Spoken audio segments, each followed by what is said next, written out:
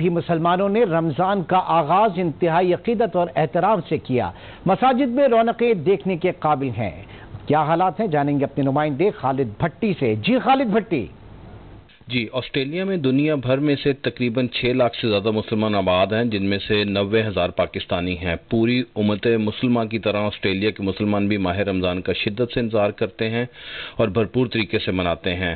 پہلے روزے کی سحری کے بعد بڑی تعداد میں نمازیوں نے مساجد کا رخ کیا اور بھرپور رونق نظر آئی۔ گزشتہ سال کرونا کی مہلک وبا پھیلنے کے پیش نظر رمضان مختلف انداز میں منایا گیا اور اجتماعی تقریبات اور افطار کے پروگراموں پر پابندی رہی، لیکن اس سال آسٹریلیا میں کرونا کی وبا پر قابو ہونے کی وجہ سے صورتحال کافی اچھی اور حوصلہ افزا ہے۔ قابل ذکر بات یہاں یہ ہے کہ آسٹریلیا میں موجود سپر مارکیٹس میں ہر سال کی طرح رمضان مبارک کے پوسٹر آویزاں ہو گئے ہیں اور اشیاء ضرورت کی کافی ساری چیزوں میں احترام رمضان کی غرض سے نمایاں کمی کر دی گئی ہے۔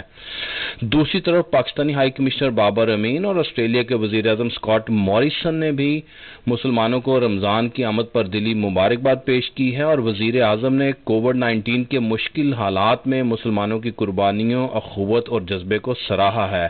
واضح رہے کہ آسٹریلیا کے مختلف شہروں میں موجود پاکستانی آرگنائزیشنز رمضان کے بابرکت مہینے میں دل کھول کر بلا تفریق لوگوں کی مدد کرتی ہیں۔ خالد بھٹی، آج نیوز آسٹریلیا۔ آسٹریلیا کے بعد رخ کریں گے فرانس کا۔ فرانس میں مقیم مسلم کمیونٹی نے آج پہلا روزہ رکھا۔